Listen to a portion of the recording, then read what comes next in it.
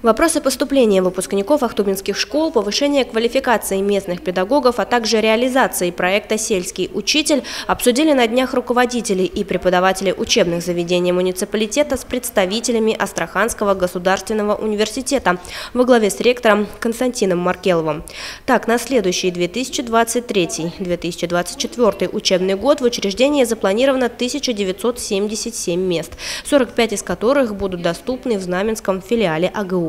Отметим, присутствующим рассказали и об изменениях порядка приема в вузы. Так сократилось количество направлений подготовки, на которые можно подать документы.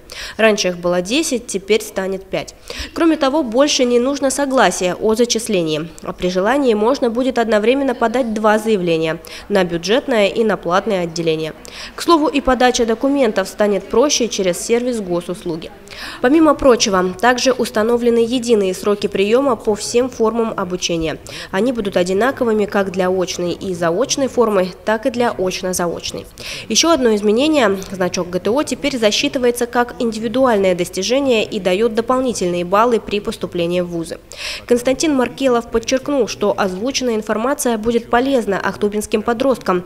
Кроме того, чем больше ребят узнают о преимуществах учебных заведений нашего региона, тем больше вероятность, что после обучения они вернутся в родной город. Количество выпускников, которые поступают в Астраханский государственный университет Сахтубинского района, оно, конечно, незначительное. Сказывается отдаленность нашего района от областного центра, поэтому в данном случае основной целью было привлечение выпускников Ахтубинского района э, для поступления в Астраханский государственный университет. Плюс это возможность заключения целевых договоров э, для поступления в вузы.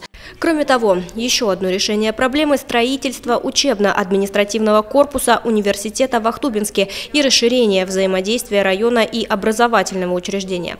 Эти вопросы уже на личной встрече обсудили руководитель администрации района Владимир Михет совместно с ректором АГУ и мэром Дмитрием Шубиным. По словам Владимира Михеда, данная инициатива позволит повлиять на проблему оттока молодежи и обеспечит предприятия региона высококвалифицированными кадрами.